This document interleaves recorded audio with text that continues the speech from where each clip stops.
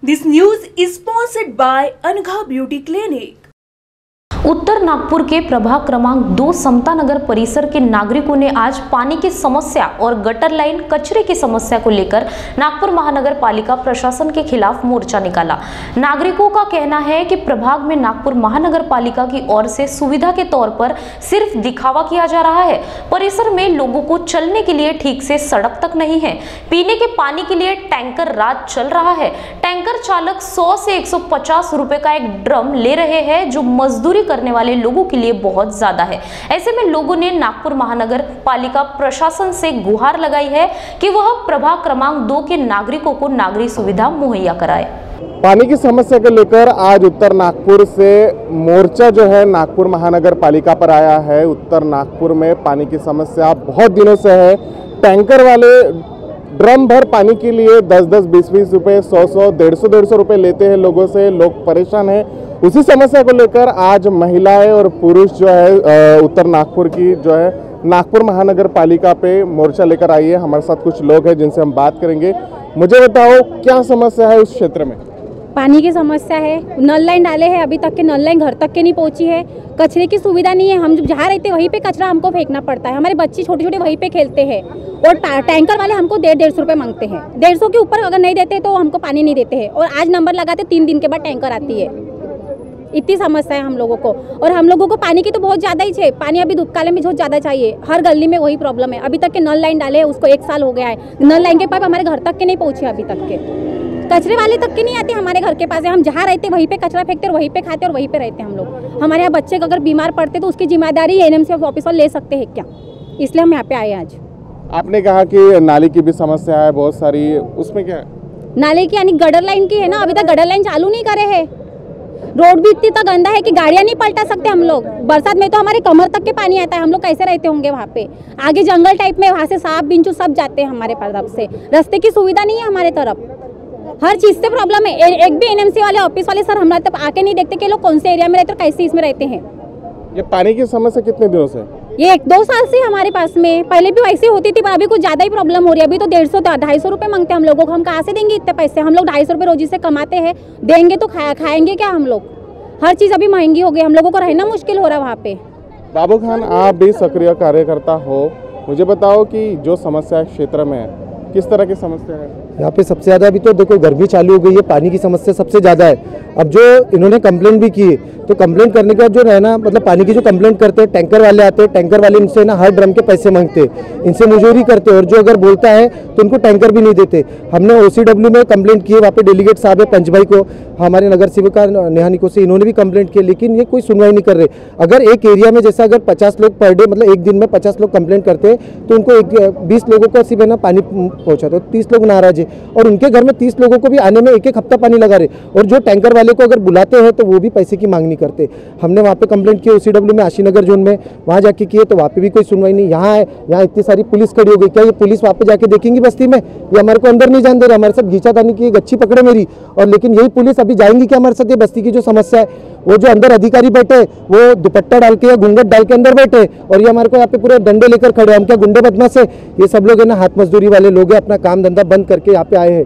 और ये लोग हमारे को धूप में इस तरह से खड़े रखे, गेट पे ताला लगा दिए। अगर ताला लगाना है तो हमेशा गिल लगाओ। क्यों अभी लगाए? अभी क्यों लगा रहे हम लोगों को देखकर? कारपोरेशन के इनको फुकट के पैसे मिलते क्या? ये जनता का पैसा ना टैक्स जो भरते इन लोग एक छोटा सा पार्ले जी भी खरीदते ना, सुई भी खरीदते उस पर टैक्स देते तो इनको पैसे मिलते और यही अधिकारी आज ताला लगा दिया, पुलिस प्रशासन डंडे लेकर खड़ी है। मतलब कितने किस तरह नागपुर महानगर पालिका की गुंडागर्दी है।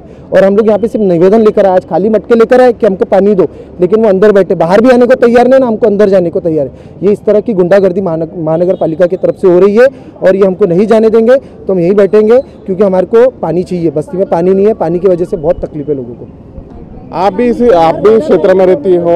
आप किस तरह की समस्या आ रही है? सर, मैं भक्ति सागर नगर से, नगर में रहती हूँ। हमारे इधर आजू बाजू में नल लाइन आ गई लेकिन हमारे इसमें नल लाइन आई नहीं। कम से कम पाँच साल हो गए कि सैंक्शन हुए करके।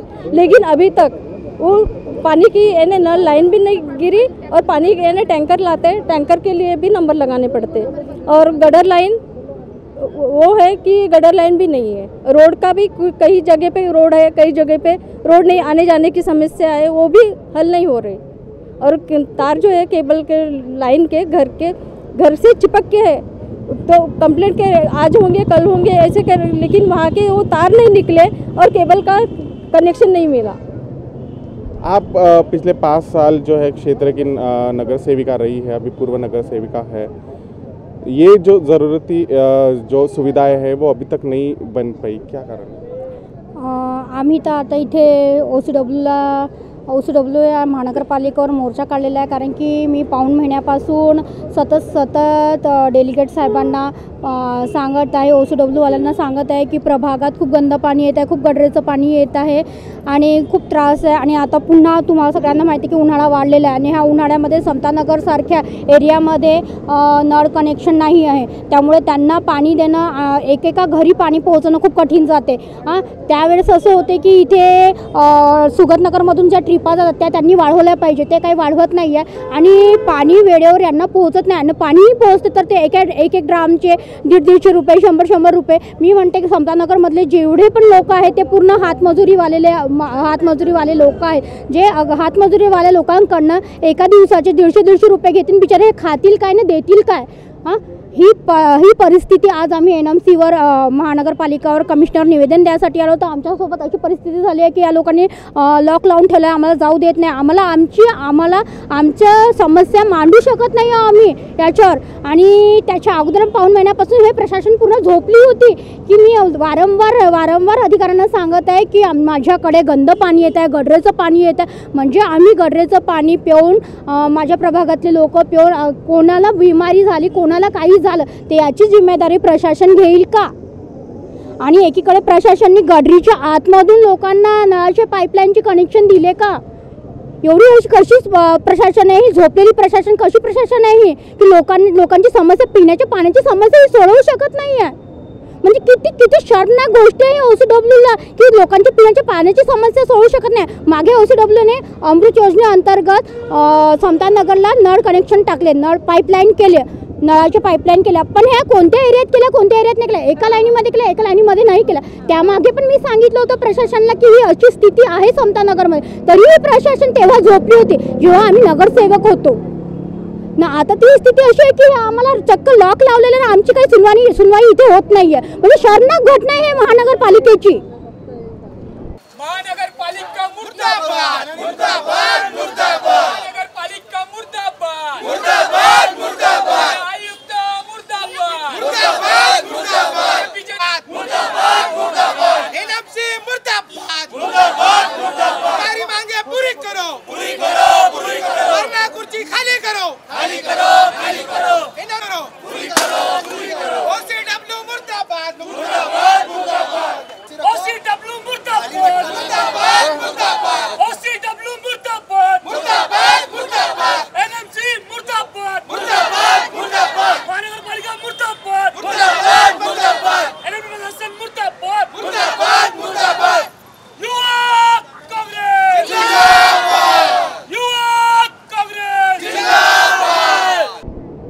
सुगत नगर और स्वागत नगर स्वागत नगर जो है क्षेत्र है, वहाँ पे गरीब लोग रहते हैं, हाथमोजी करने वाले लोग रहते हैं, आप देख सकते हो। छोटे छोटे बच्चे जो है, आज इस आंदोलन में शामिल हुए हैं, समता नगर के जो लोग हैं। और किस तरह से ये आंदोलन करने पे आज आए हैं, अपनी माताएँ, अपने छोटे छोटे बच्चों को लेकर आज आए हैं आंदोलन के लिए।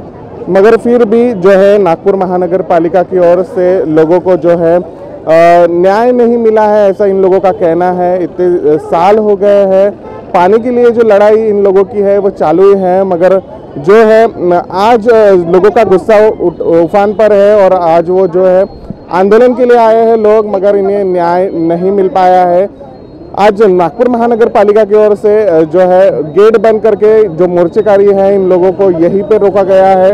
इन लोगों का कहना है कि जो अंदर अधिकारी है कमिश्नर है उन्होंने आकर यहाँ पे सभी लोगों से मिलना चाहिए और अपनी समस्या जो है इन लोगों की समस्या सुनना चाहिए और इन्हें न्याय देने देना चाहिए।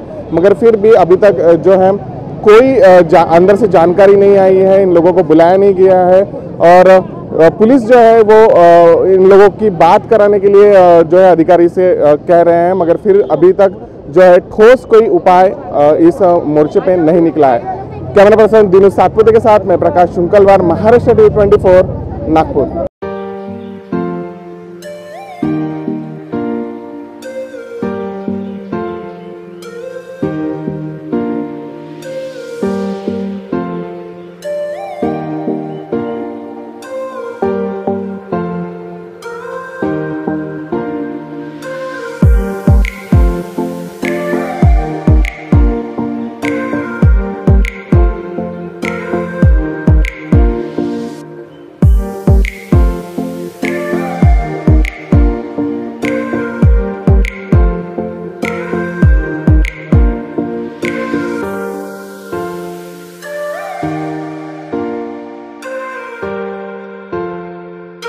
Música